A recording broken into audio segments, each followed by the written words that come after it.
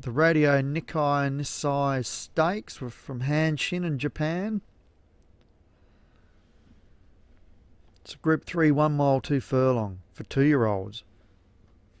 Joint favourite up the top, uh, favourite lunchbox for Django. We've got Millennium Most Wanted, Drastic Para.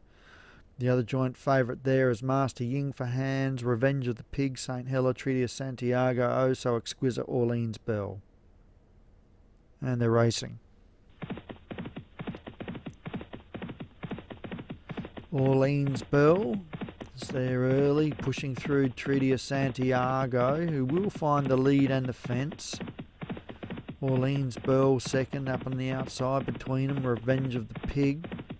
He now sits back down on the fence, pushing through St. Hela. We've got Millennium Most Wanted, Favourite Lunchbox, Oh So Exquisite Master Ying, and Drastic Para. Treaty of Santiago leads from Favourite Lunchbox, one of the joint favourites. Then Millennium Most Wanted. Down on the fence, Revenge of the Pig, Orleans Bell. Drastic Para getting closer. And uh, also there's uh, Master Ying and St. Hela's and Orleans Bell. The five furlong. And it's Treaty of Santiago from Millennium Most Wanted. Revenge of the Pig. Out wide Oh So Exquisite. And Millennium Most Wanted Favourite Lunchbox.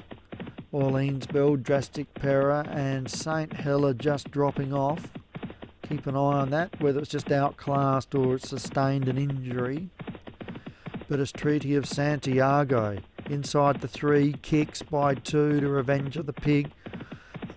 Orleans, Orleans Bell, Drastic Para out wide and making a move. And uh, then Millennium Most Wanted and Master Ying at the one and a half. It's still Treaty of Santiago, but Orleans Bell is trying to get on terms inside the half.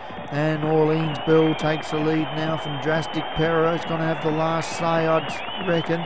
It's Orleans Bell in front from Drastic Para, and Orleans Bell wins from Drastic Para. Revenge of the Pig was third.